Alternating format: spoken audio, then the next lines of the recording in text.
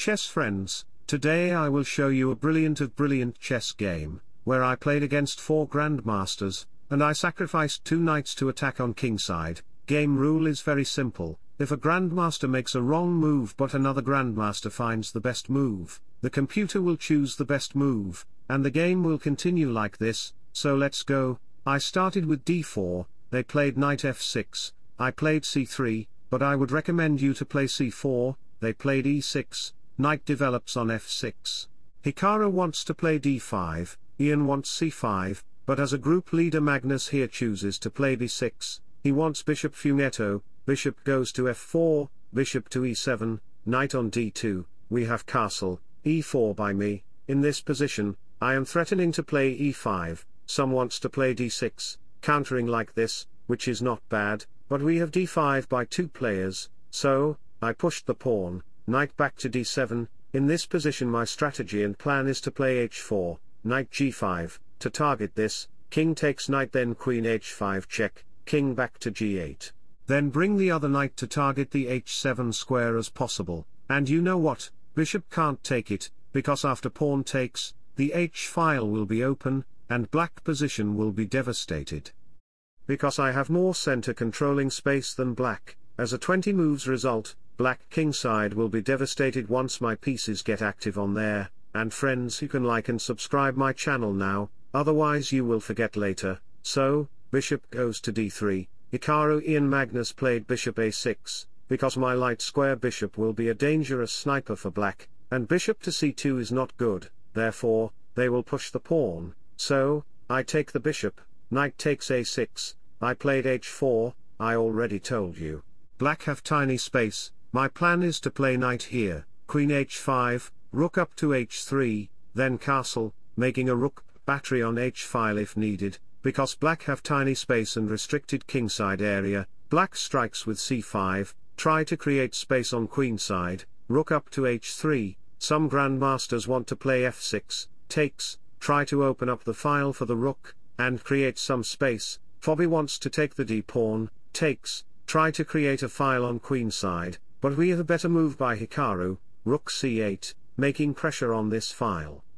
Queen up to e2, again, some want to play f6, and c4, try to close the position, but we have best move by Magnus, retreating his knight to get a better position for the knight to create pressure on these pawns, we have knight to g5, bishop can't take the knight, because of pawn takes g5, queen h5, the h-file will be open, if you push the pawn, then pawn takes pawn, takes, queen g4 check, then rook takes h6 will checkmate with the supporting of the bishop, so in this position, we have knight up to c5. I sacrificed my knight on h7, you have to take it, king takes knight, queen to h5 check, king back to g8, knight comes to f3, threatening to play knight g5, then checkmate on h7, so they play f6, try to protect this, believe me or not. Here I sacrificed my other knight by playing knight g5, that's why no one can sacrifice like me and become stockfish like me, don't try this at home and please if you haven't subscribed to my YouTube channel,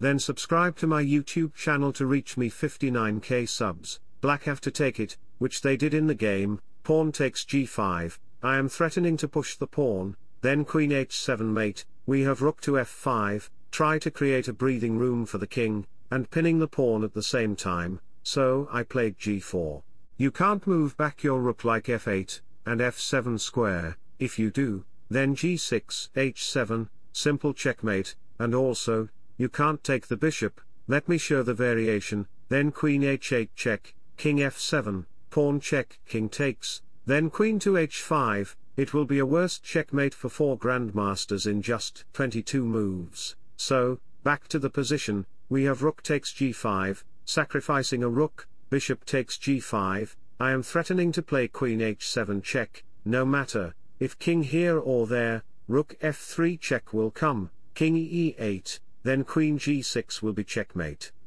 So, in this position, we have bishop takes g5, queen to h7 check, king up to f7, rook f3 check, king can't go there, because of queen g6 check, king up to e7, then queen f7 check will be mate, and if you think king e7 is good, then queen takes check, here, queen checkmate, so, back to the position, we have bishop to f6, pawn takes bishop, knight can't take it, because g5 will pin the knight, so, they choose to play queen g8, offering queen exchange, f takes g7, it is a discover check, king slides to e7, queen back to h6.